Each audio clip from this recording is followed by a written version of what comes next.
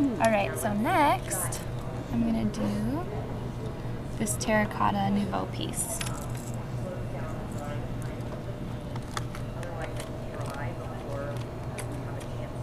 Alright, so what I have here is a natural brass blank that has been pre-embossed through the Vintaj Big Kick with one of the Deco emboss folders. So it's to start out like that. Okay. And so for this one, I'm going to be using the Painted Barn. So that's using earth, garnet, and marble. So I've got a nice red, that brown, and then the white.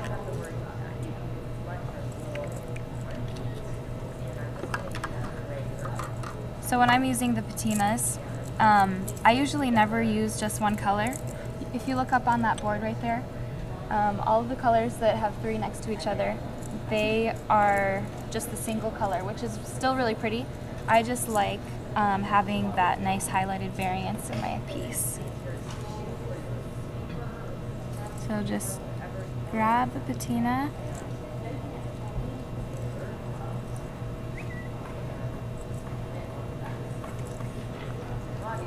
and then that white is just going to highlight that color that's already in there.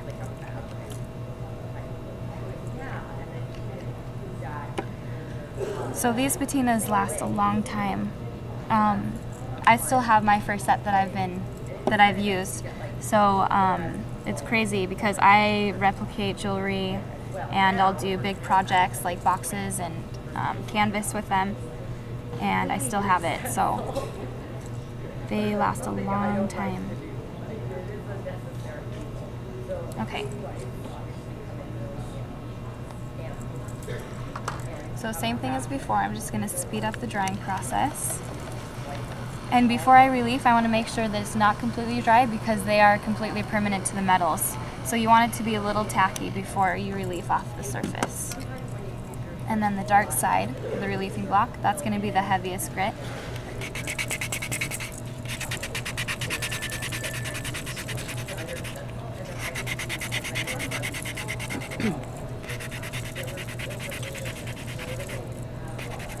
okay, so then there's that step. So reliefing brought that embossed pattern back through to the front from behind the patina. Okay. So for this one, I'm going to create um, a little glaze over the top, and I'll be using the UTEE. So this is the ultra thick embossing enamel.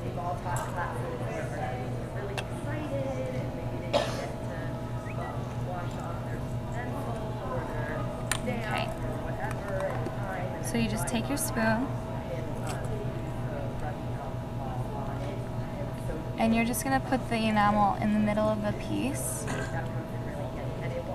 and then that's going to heat up in the melting pot and it will spread across the whole piece and coat that.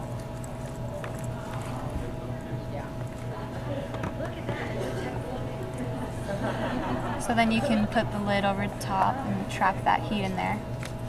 Speed that, that up a little bit.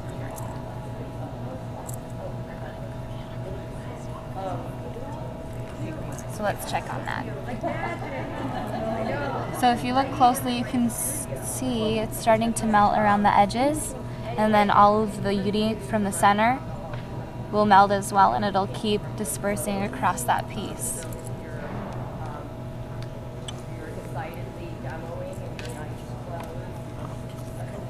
Trap that heat in there. And another thing I love about the patina is that it's super easy to clean up off your craft sheet. You can wipe it and it just, I know, they're so awesome. And it's the same material that's in the craft insert. I wish I had my whole if I could. Set this under here to keep it level. You can tell about that. Then I'm going to pull that out. And see how some of that UTEE has been pulling up around the sides? I'm just going to take it in its hole and I'm going to pull it out of the UTEE. So I just slide it and then that gets rid of all the excess UTEE.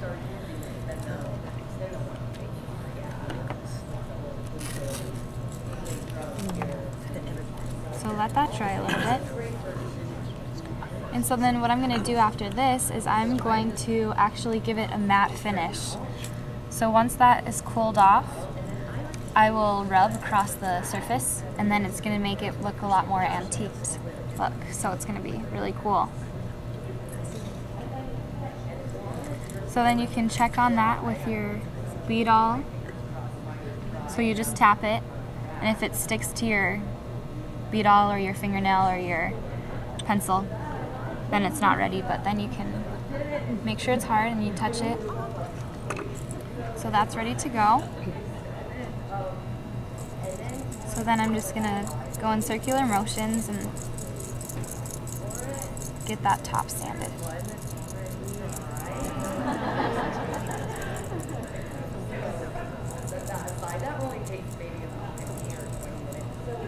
Silly question, but you won't sell the wool. No. It's just your normal, yeah, the Steel finest steel wool. Okay, so then there's that.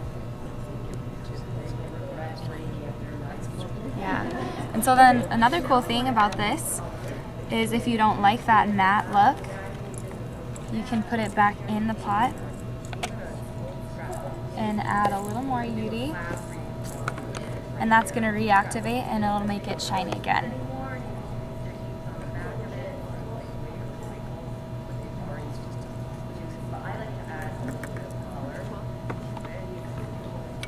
So I put the lid underneath it just so it stays level.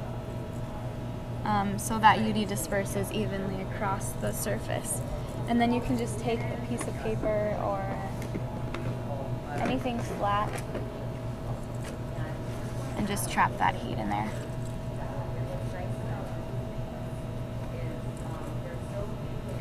Or if you have children. Do another three. Yeah. So if you look at that, that's become shiny again. So it's really cool, really forgiving. Yes. Okay. So then I'll pull that out and put that off to the side. And then later I'm going to add the filigree. So this is just upscaling the blank a little bit. So same thing. I'm just gonna highlight those raised areas with that white side of the block.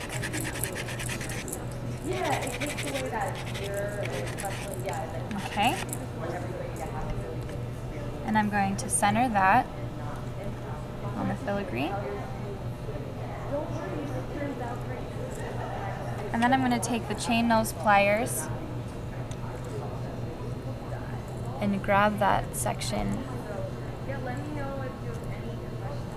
and crimp. So it might move around a bit so you can just recenter it. So don't be afraid to hurt the metal. Um, you're going to want to pinch it pretty hard to your piece so it stays secure.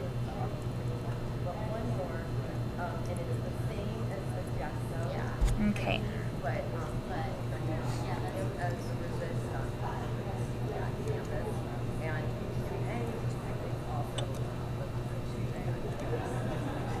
So then there's that.